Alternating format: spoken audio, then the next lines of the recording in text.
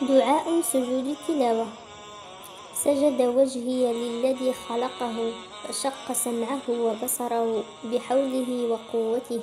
فتبارك الله أحسن الخالقين.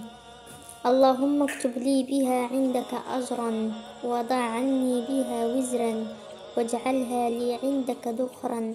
وتقبلها مني كما تقبلتها من عبدك داود.